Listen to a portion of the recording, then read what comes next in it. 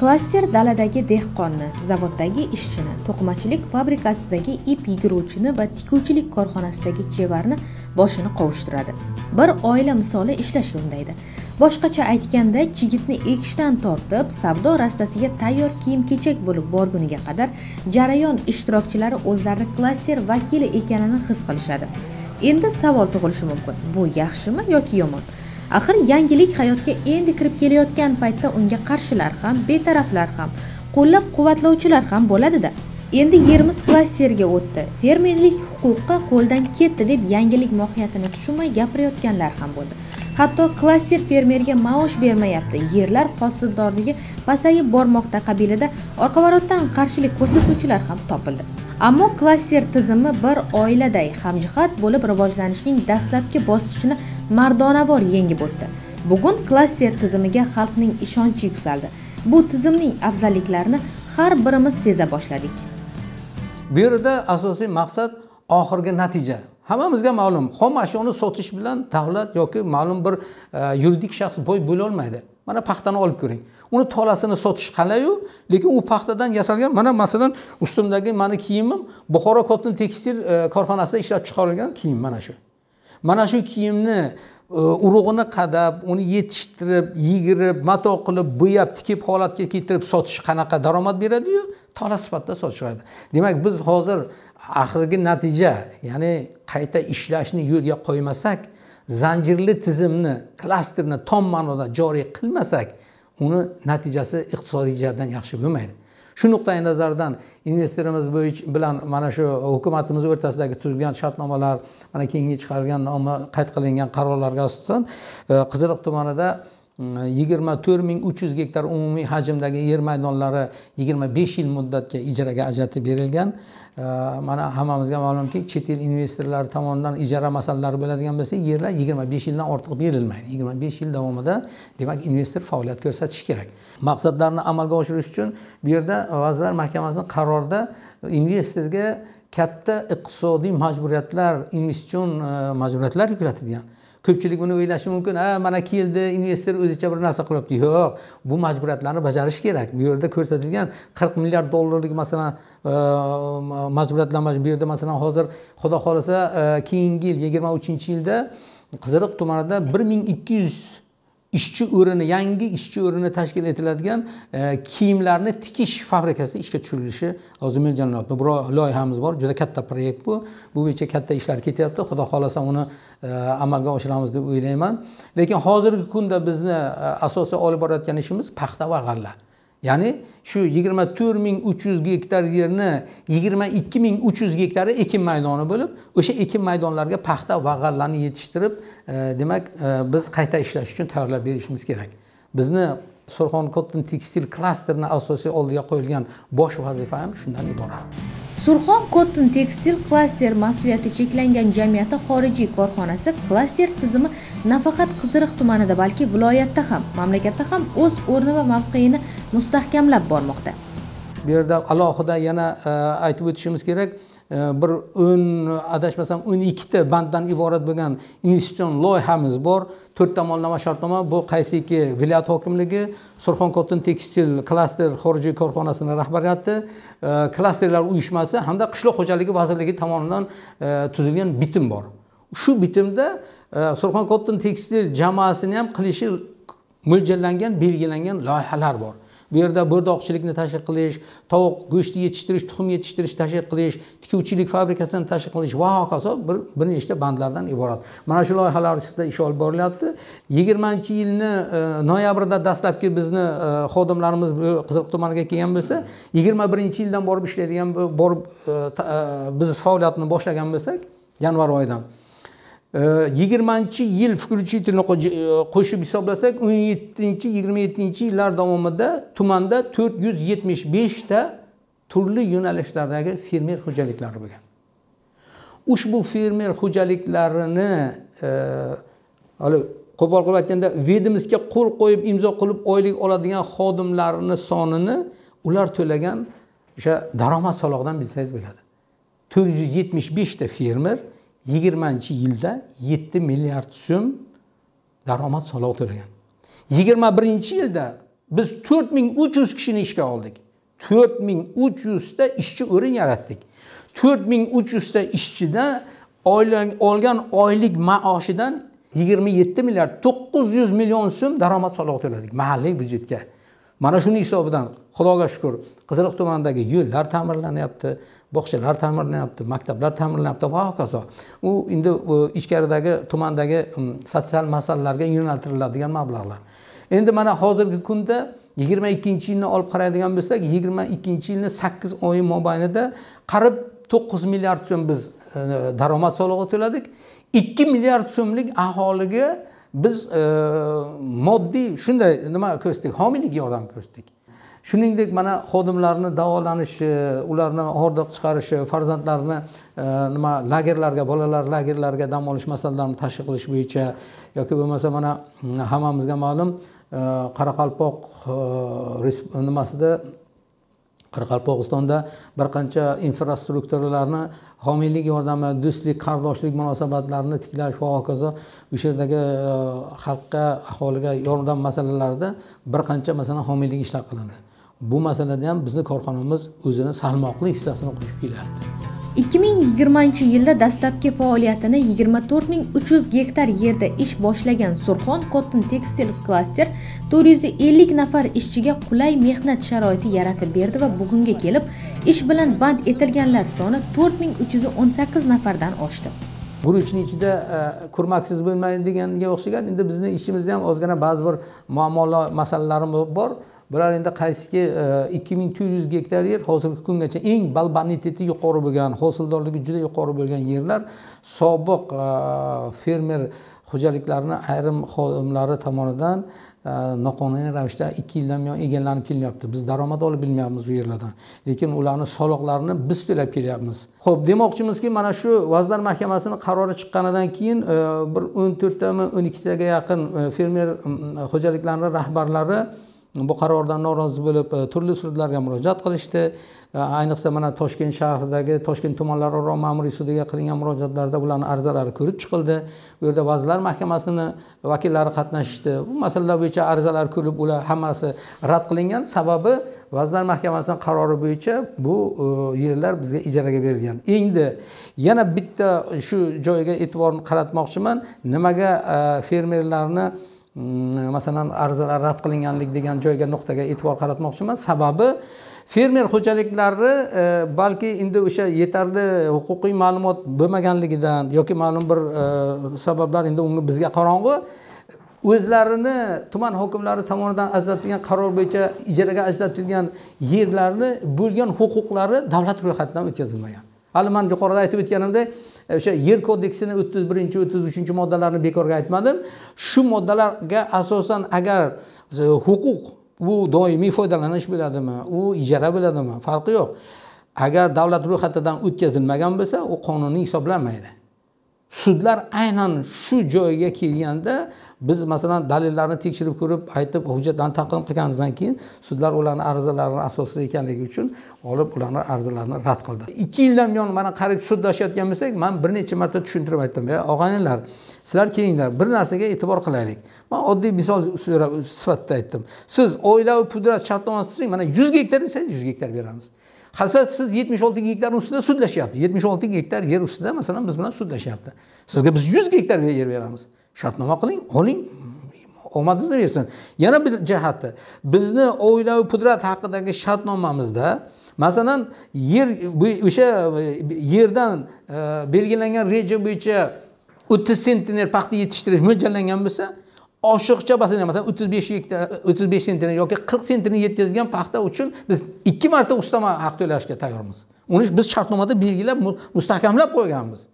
Hozir bu narsani ijobatini mana keyin oldingi yildagi qishloq xo'jalik bayramiga bo'lgan bo'lsangiz yoki surishtirsangiz bu narsani isbotini ko'rasiz. Biz to'rtta jentra mashinasi bitta damas mashinasini sovg'a qildik. Investorimiz to biz emas endi investor qildik. Qaysiki qirq besh sentnerdan oshiq qirq besh sentner undan oshiq mahsulot e, e, paxta yetishtirgan e, odamlarga fermer o'sha e, oila pudrat rahbarlariga bu narsa qilindi.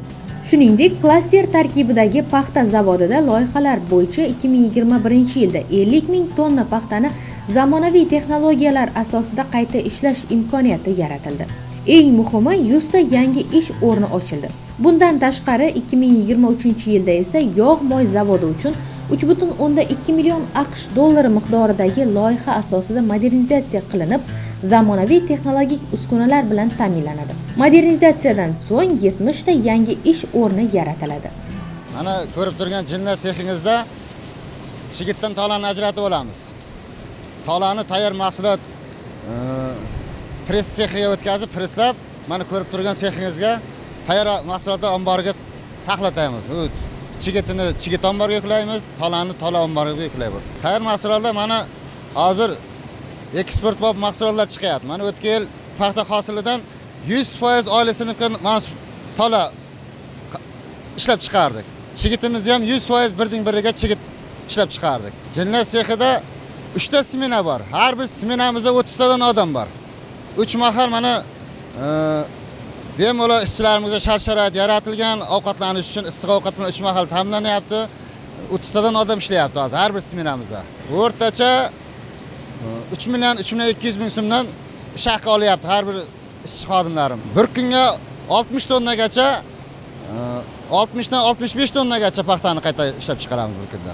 Ish unumdorligimiz mana shu. Zavoddagi quritish tozalash sexida ham barcha jihozlar qayta ta'mirlandi. Jumladan har bir agregatga yangi uskunalar o'rnatildi. Zamonaviy usulda ish olib borish uchun to'rt kilometr uzunlikdagi gaz quvuri tortib kelinib maxsus pechlar o'rnatildi. Quvvati bu ham e, bir kunga o'sha oltmish tonna tolani olamiz. Qayta ishlab chiqarib oltmish tonna tola olish uchun yetarli bo'lgan xomashyoni yetkazib beradi. Tozalatib quritib. Avval paxta zavodida ishlagan paxta zavod klasterga tegishli bo'lgandan keyin nima o'zgarishlar bo'ldi?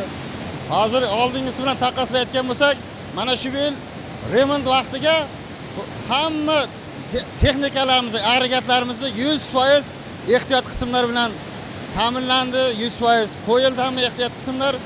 Yetarlicha bo'ldi. O'shaning evaziga ham biz ko'zlagan o'sha tolani ishlab chiqarish tonnasini olyapmiz hozirgi kunda bu sifatli olishimizga ham sababchi o'sha. Qo'yilgan ehtiyot qismlarni evaziga. Avval yo'q edi unaqa imkoniyatlarimiz yo'q edi. Yo'q endi qo'lbola usulda edi hozir zamonaviy usulda bo'lyapti hozirgi sharoitda surxon cotton tekstil klaster faoliyati bilan tanishar ekanmiz. Paxta dalasida ham bo'lib terim jarayoni bilan qiziqdik. Xususan hosilning ko'pligi terimchilarning dam olish joylari oziq ovqati va ularga yaratilgan sharoitlar ko'zdan kechirildi. Paxta maydonlariga agrotexnik ishlov berish va parvarishlash yetarlicha o'z vaqtida bajarilgan hamda terimchilarga oylik maoshlari o'z vaqtida to'lab borilmoqda. Mana shu mavsum boshidan beri paxtaga chiqib paxta terib kelyapman yuz ellik kilo yuz oltmish yuz yetmish teraman kunduzog'i yaxshi bir kunda. Paxtalarimiz zo'r dalada yig'im yaxshi. Hamma narsa vaqtida berilyapti. Osh ovqat obedga. Suv sharoit shu rahmat mana shu klaster bobomizga. Hamma sharoitimizni qilib beryapti ovqatlarimizni beryapti. Daromadimiz yaxshi. Besh kunlik besh kunlik pulimizni o'z vaqtida olib turibmiz hammasini. 2022 yil hosili uchun ekilgan paxtani nes nobud qilmasdan yig'ib terib olish maqsadida qiziriq tumanida 119 ta paxta terim otryadlari tashkil qilinib 7000 nafarga yaqin terimchilar jalb qilingan. Ularning farqi tomoni 5 kunlik 5 kunlik pul beradi vaqtida xabarlashtiradi moylar beryapti sovg'a 100 kilo tergan 50 kilo terganlarga ham. Unday unday qilmas unday emasdi unday u paytlar. Vaqtida pul unday ololmasdik yaxshi rahmat hozir. Topgan pullarim uy uy mol hal olamiz. Uyning e, kam katiklarni olamizda bunday shart sharoitlar zavoddagi ishchilar uchun ham yo'lga qo'yilgan.